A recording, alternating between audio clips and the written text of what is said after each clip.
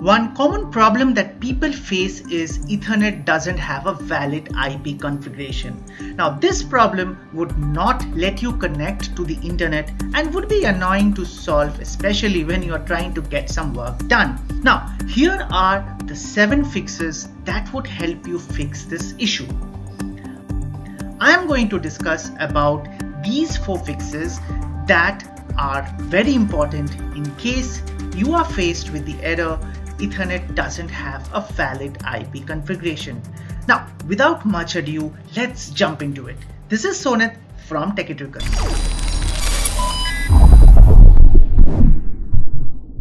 The first on my list is configuring the network adapter setting. So from the search bar, you can type there run application and then you need to type ncpa.cpl in the text box and then hit enter. Now the shortcut to go to run application is also Windows keys plus R.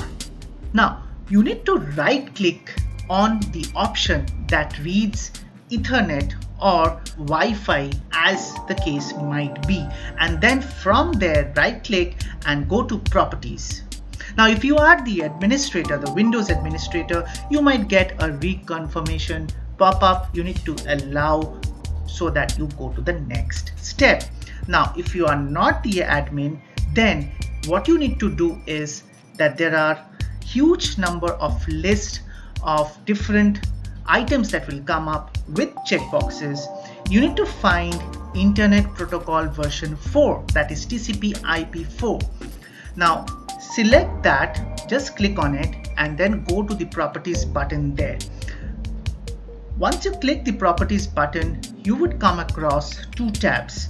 So you need to only focus on the general section. Now under the general tab you would find the option of obtain an IP address automatically and obtain DNS server address automatically. These two options are vital. Now click this and press OK. Now all that's left to do is rebooting your computer or PC as well as your router. Now if this option didn't work for you, coming to the next option is resetting your network settings. You will need to proceed to flush the DNS server now, reset the socket and reconnect again. So press the Windows key and R and then from the Windows run application you need to type cmd and then press enter. The command prompt will basically open. Now you need to copy and paste these commands that you see on the screen and press enter. After doing this step again you need to run the run application and then you need to type ncpa.cpl as we did in the previous step right click on your ethernet or wi-fi option whichever is valid in your case. And then you need to find the disable option that is showing up on the list.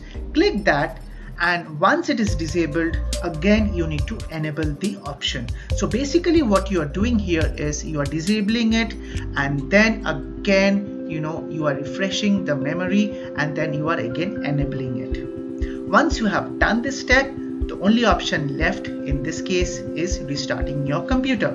Now again, this is considered as also one of the most popular fixes to the ethernet doesn't have a valid IP configuration issue. Now, does your problem still persist? If it does, then you move to the next step, uninstalling and installing your Windows update. Now, the recent Windows updates could also be the culprit here. Hence, if you are facing this problem right after updating Windows, you might need to roll back to the previous version of the OS. So from the start menu, you need to type settings from the search bar and then the first option that comes up is the settings. Now from settings, you go to update and security option and from there you need to click view update history option which will take you to check for updates button. Now uninstall updates option will be shown on the left top corner. So if you click that, you would see what all installed updates of Windows version you already have. So you have to right click each option one by one and uninstall it so that you revert it back to the previous option. Now once you have done this again reboot your PC or laptop. The next on my list is disabling IP version 6. The issue might occur due to IPs not supporting IP version 6 address. Hence, if you need to actually disable IP version 6 in those cases. Now, how would you do that? So, you need to again, you know, go back to that same uh, window that is the Wi-Fi properties that I showed you some time back. So again, for those who have not, you know, seen that option, you press Windows R option and then you know you can type control panel and hit enter go to network and sharing center and from there you can go to change adapter settings and go to the ethernet option or wi-fi option right click it go to properties and then you are there on the wi-fi properties and from there you would see the entire list of options that come up with the check boxes. Find and uncheck Internet Protocol version 6 that is TCP IP version 6 and then you need to click OK. Now these were some of the most common fixes of the issue Ethernet doesn't have a valid IP configuration problem. If none of the above fixes helped you solve the problem, you might want to reinstall Windows again and try reconnecting to the Ethernet or you can also check my blog where I have the other fixes mentioned.